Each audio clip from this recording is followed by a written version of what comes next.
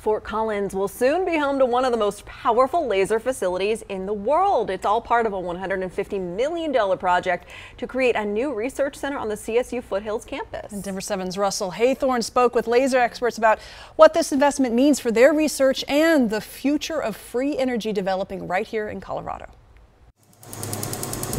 The beam goes through this uh, pulse cleaning Pockels cell. In this laser lab, at CSU. Amplifies laser from nanojoule to microjoule level, hundreds of mirrors to create more energy. To create more energy. Researchers like Shuzhen Wang and Yang Wang have been leading the nation in laser technology for years. More than 20 years, 22 years for this laser, yes. Getting bigger and bigger. And now, their work here is getting the attention of some of the leading laser companies in the world, like Marvel Fusion out of Germany. I think over the last three or four years, we've gained a lot of momentum in terms of what we've been doing with the Department of Energy. And I think Marvel um, has seen kind of what our capabilities are. Marvel Fusion's plan to build one of the largest, most powerful lasers in the world and figure out a way to power the world with those lasers. Embarking on a $150 million laser research facility here on the CSU campus. This would be carbon free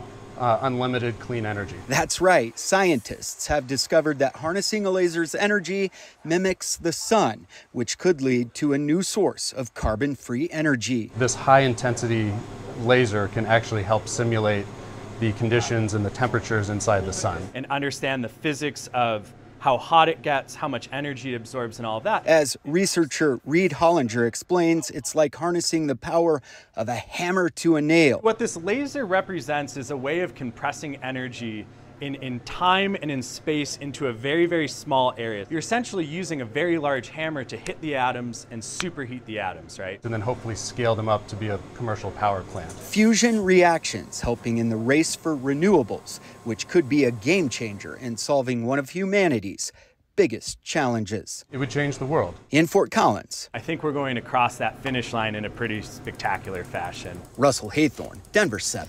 As Mike Nelson just said, those are some real smart guys there. we are still waiting to see CSU breakdown of the $150 million investment or who's paying for what parts of the project. Construction, though, is set to begin next year, and the laser lab is expected to be finished by 2026.